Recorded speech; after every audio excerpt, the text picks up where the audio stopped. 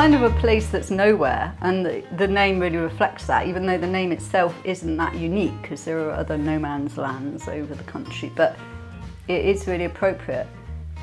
It's right on the border, it's right on the county border, it's right on the border of the New Forest. It's village, it, the, the post address is Wiltshire, but the village green is in Hampshire.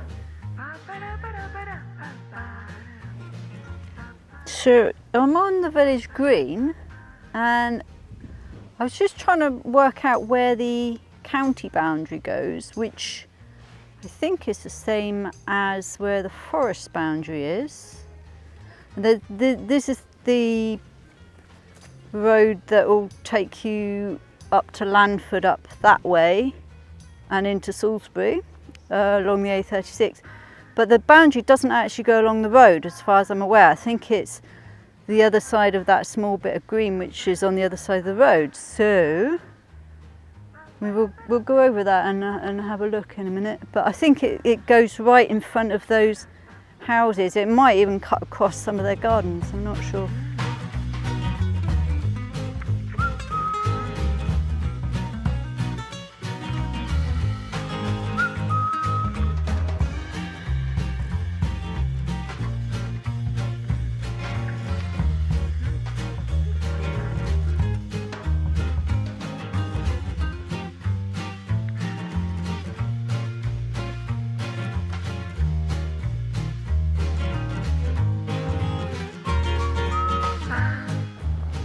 So I think the boundary runs along here somewhere.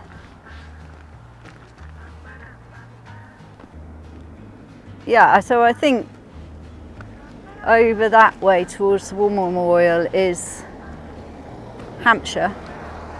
As soon as you cross the cattle grid, you'll be in Wiltshire.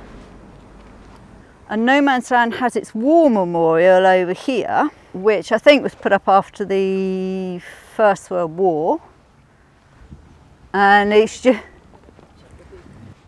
I just think it's kind of quite curious that a village can be in, in one county and one parish and have its it, build its war memorial in another parish. It's like that's no man's land. well, those there's some um, very familiar names in there. Dibden. Very, there was a lot of Dibdens when I was at school here. Yeah, White.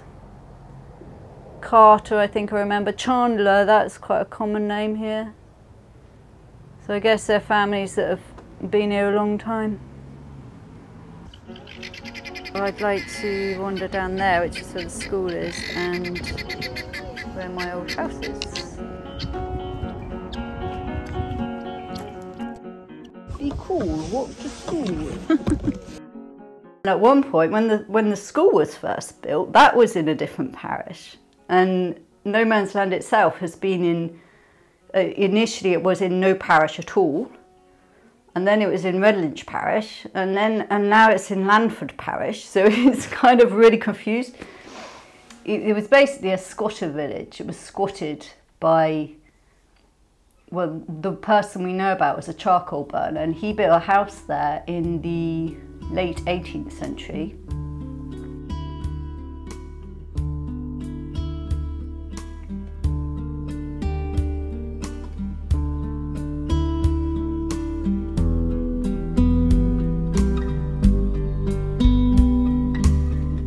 Charcoal burner has tales to tell. He lives in the forest, alone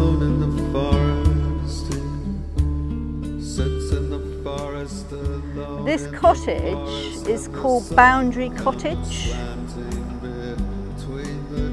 Apparently this was the site of the very first house in Nomansland. So John Shergold, who built his house here, who then was allowed to keep it, and that was the beginning of Nomansland. Apparently this is where he built his house.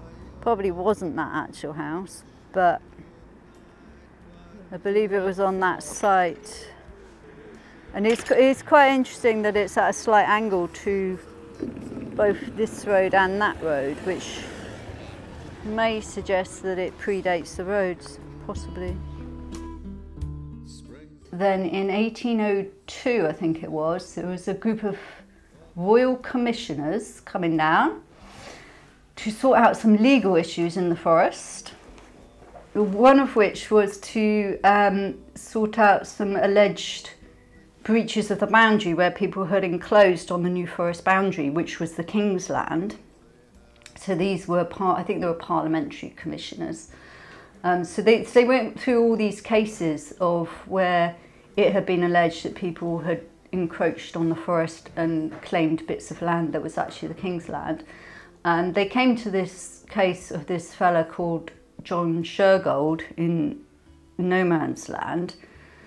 Um, and it, it was claimed by some that this was the king's land. And it was claimed by other people that it was the Bishop of Winchester's land, which started just beyond the forest.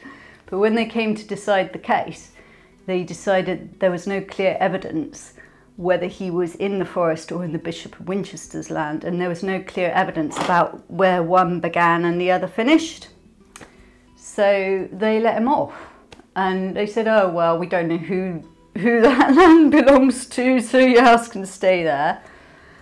And then immediately the, the word got out. There's, there was a rush of people, you can imagine, to claim land because there was free land it didn't belong to anyone so it must have been a bit like the wild west for a few months people just pitching up and putting up tents and fence, fences to claim a little bit of land. And that's how Nomansland started. So it started on a very specific date which was that court case that was decided that John Shergold could keep his house which was on the 23rd of October 1802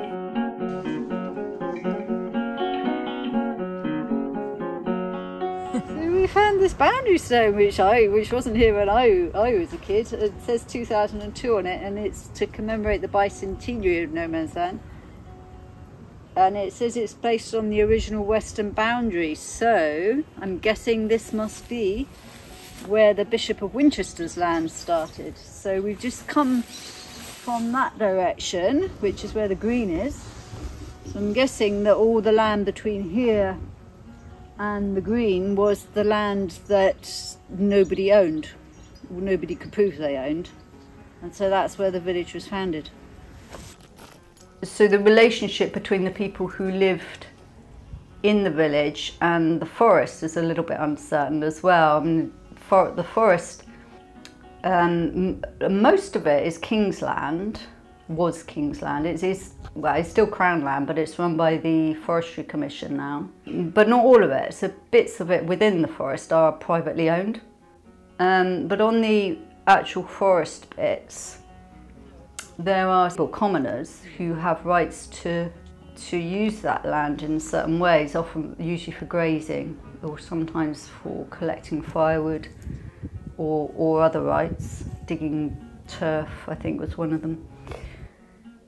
But the people who lived in Nomansland wouldn't have had those rights because they, they were attached to certain old properties and still are in the village.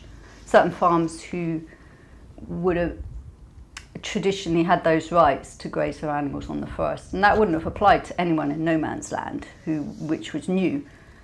But in the school log, there are records of the school being closed or a lot of children being off to collect things from the forest. So things like wood or acorns or leaves, whether it's for their own use or whether they were being paid to do it on behalf of someone who did have rights to use the forest in that way. I don't know, or whether they were just permitted to do it even though they didn't have rights, which is quite interesting. Yeah, interesting place.